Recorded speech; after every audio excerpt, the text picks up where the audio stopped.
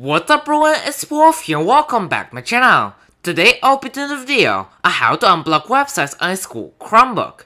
By the way, if you got into the methods, make sure to comment down below and let me know.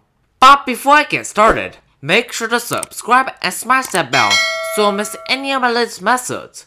Also, check out my Discord server and r slash scpwolf if you need help. Link is in the description below.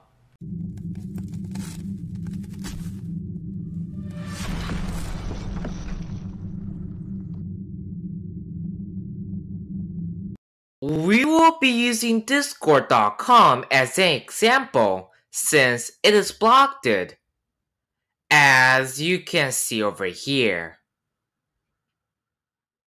So first, go to BetaHub, link in the description below. Then, on the side over here, find proxies. Now, choose the proxy to use. For example, if you want to use BetaHub proxy, all you have to do is click on it and search the website you want to go to over here.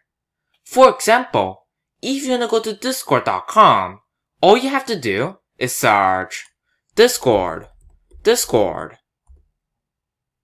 It should be the first one, Discord, your place to talk and hang out. Click on it.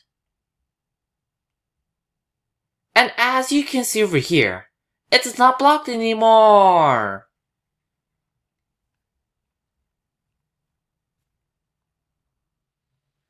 Thank you for watching. I hope that this video is helpful. And if you did enjoy this video, make sure to leave a like down below and check out my Discord server or just comment down below if you have any issues. And I will see you guys next time.